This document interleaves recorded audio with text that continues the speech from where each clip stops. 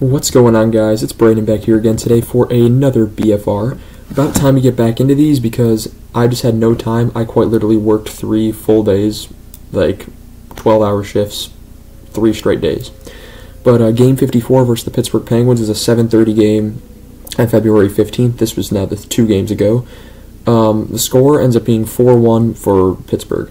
The Hawks dropped to 14, 37, and 3. Bedard had returned. Surprisingly, he had been announced that he would return earlier that morning, and um, he was wearing the bubble mask, so that was cool. Katchouk was in, Reese Johnson and Pitlick were out. Pitlick had been waived as well. Shots were 29-25 Chicago. Hits were 14-8 Chicago. Pittsburgh had led them face-offs, however, 30-17. Power play, Chicago goes 0 for 2, Pittsburgh 0 for 1. No Guentzel, Acciari, or Harkins in the lineup for Pittsburgh. Guentzel being the big name there. Uh, Soderblom saves 22 out of 25, and Nedeljkovic saves 28 out of 29.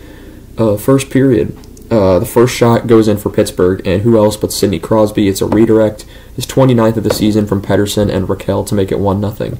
Blackwell is then robbed, Ra- Rakell is denied. Uh, 720, Pittsburgh scores again. It's a backhand goal by Reilly Smith, the former Golden Knight. 10th of the season from O'Connor to make it 2 0.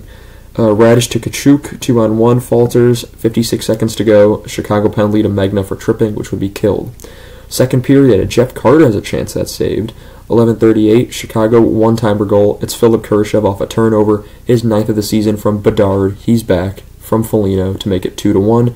Bedard reclaims the rookie scoring lead after not having it for about a day, um, and being off for about a month.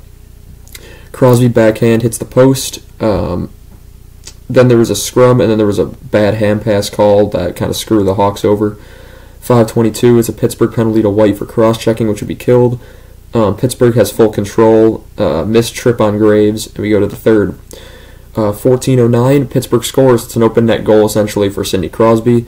Uh, 30th of the season for Rakell and Pettersson once again to make it three to one. 99th career multi-goal game for Crosby. Obviously one of the all-time greats and probably the greatest of my generation. Um, 120 Pittsburgh penalty to Rakell for holding, which would be killed. Dickinson was hurt. He had no pressure on his right side, but he would play. Uh, 50 seconds to go then, but I eventually changed it to 49.7. It's a Pittsburgh empty net shorthanded goal to Bryan Rust with his 15th of the season unassisted to make it 4 1. The Hawks had pulled the goalie to make it 6 on 4 at 120. But that is going to be all I have for you guys on this one. I still have the Ottawa game to do next. Both of these will be posted consecutively. And then, of course, I will be doing the BFR for the Carolina Hurricanes uh, in Car- game in Carolina uh, tomorrow. But yeah, that's going to be all I have for you guys in this one. I want to thank you guys so much for watching this video, and I shall see you guys in the next one. Have a good one.